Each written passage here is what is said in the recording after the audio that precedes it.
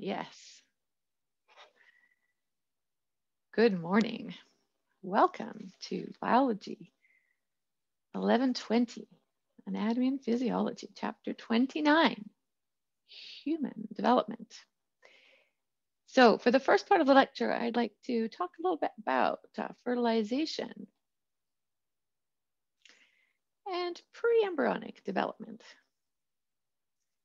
That will be part one. So we just saw a great video about um, sperm migration. It was uh, time lapse. Actually, I don't even think it was time lapse, was it? But it showed uh, sperm migrating. So about 500 million or so starting their migration um, from the vagina through cervical mucus, which is quite thick and difficult to get through. And then, you know, there are two tubes from which, for which the sperm can travel. And there are chemicals exuded from the egg to guide the sperm toward the egg. But, you know, some sperm go the wrong tube. A lot gets stuck in the vagina, a lot get stuck on the walls of the uterus. So not very many sperm make it in the end. The majority don't really make it. They're destroyed by such things as um, acid. The vagina is an acidic place. Some cannot penetrate the cervical canal. Some go up the wrong uterine tube. How do they move? They move by lashing the flagellum, the tail called the flagellum, and assisted by female physiology. So there are some strands of cervical mucus that lay a little bit of a pathway, like a bit of a landing strip. Uh, the uterine contractions also through um, prostaglandins in semen. They are also helping the sperm along their way and chemical attraction, so chemicals that are exuded by the egg. So how long does this migration take? Um, about 10 minutes from ejaculation, spermatozoa can reach the uterine tube. But they cannot fertilize the egg unless they go under a procedure known as capacitation. So initially the sperm has the acrosome and the acrosome is sealed within the membrane of the, the sperm itself. So the, the fertilization cannot occur until capacitation has occurred, and that requires about 10 hours. It's basically making the sperm ready to fuse with the egg membrane. So it starts with the fluids of the female that washes away cholesterol and inhibitory factors that are embedded in the membrane of the sperm. So the membrane becomes more fragile and permeable to calcium. And calcium uh, helps to allow acrosomes, the acrosomal enzymes, to be released. Sperm is fertile for about 48 hours after ejaculation, and conception is optimal if sperm are deposited anytime from between 48 hours before ovulation to about 14 hours after.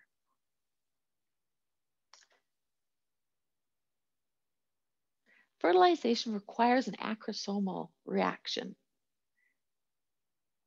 So the sperm are now capacitated, the acrosomes can be released, but interestingly, you need the release from many sperm in order to break through the granulosa cells that are around the egg, and finally the zona pellucida that has been laid down by granulosa cells before the egg was ovulated.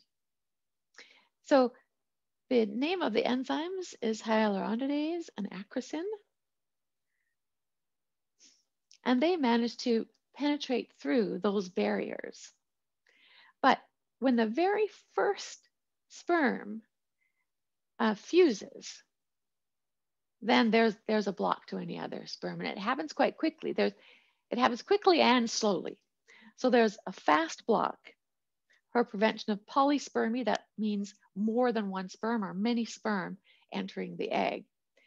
The prevention of polyspermy, well, the first prevention, the fast block, is just depolarization of a membrane. So we know how fast that happens because that's the same thing that happens with action potentials. So by opening of sodium channels. And that prevents the binding of a second sperm. The polarization has just reversed. The slow block is um, the triggering of calcium, which flows in and causes something known as a cortical reaction. There's granules, uh, very tiny granules that form, and they form a solid barrier.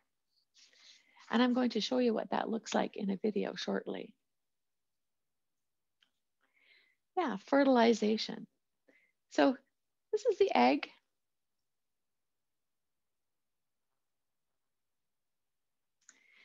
And the cells, the corona radiata are the outer cells. Uh, the zona pellucida, which is a gel-like substance surrounding the egg.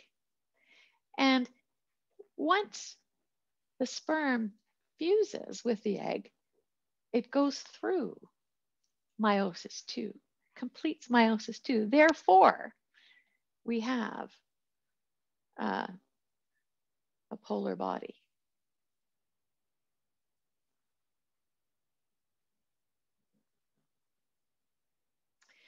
Yeah.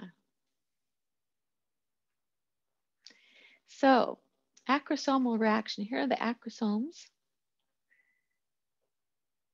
and the enzymes that are released and they release and dissolve the zona pellucida and the external um, the external structures. So it does, it happens very, very quickly, very, very quickly.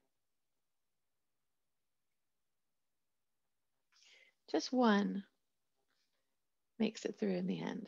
Only, only one generally combined with a plasma membrane. So once that happens, the um, fast block is very, very quick.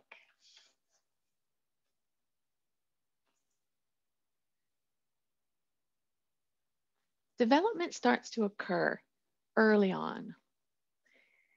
Uh, here is the secondary oocyte. It's been ovulated.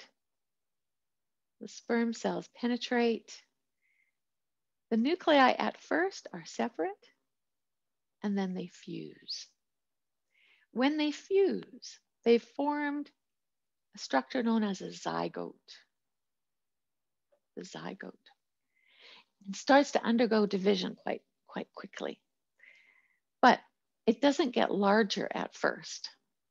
So the structure, even, even the blastocyst itself, stays about the same size. So all of the nutrition and organelles that are required by the daughter cells through mitosis are there already in the egg. Yeah, so um,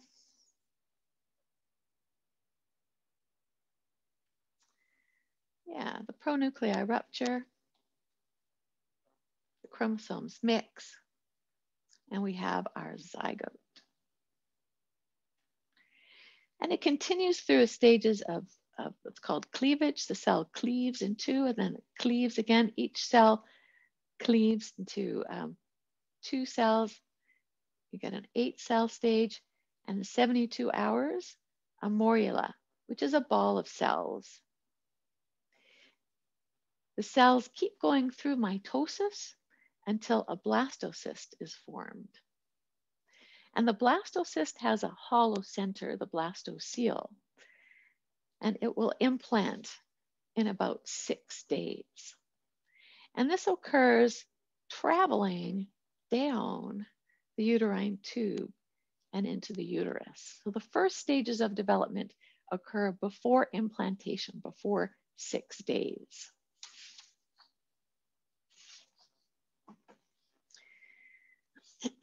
So um, the pre-embryonic stage, the first two week mitotic divisions over and over. Uh, they occur for about three days. Within 30 hours, there's a two cell stage. The zygote splits in half. Within 72 hours, the morula stage, a solid ball of cells. It's free in the uterine cavity for four or five days. What is it nourished by? uh, endometrial secretion. So the placenta hasn't formed yet. The embryo isn't getting nutrition from its own trophoblast yet, but there is uh, endometrial secretion in the uterus um, that provides nutrition. The zona pellucida disintegrates and releases the blastocyst. It's a hollow sphere.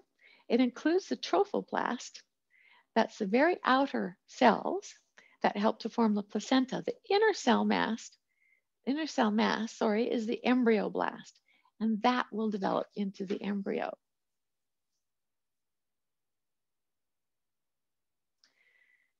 Yeah, so we saw that already. Twins. It is possible to get twins. Sometimes two eggs are ovulated and both fertilized. If that's the case, there are two zygotes and they will be as different as any other siblings. There's another form of twins called monozygotic or maternal twins. That means that one egg is fertilized, there's one zygote, but the embryoblast splits into two at some stage. And those siblings are genetically identical. So they will be the same sex. There are dizygotic twins.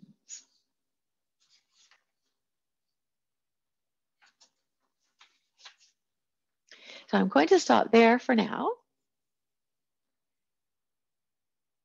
Thank you.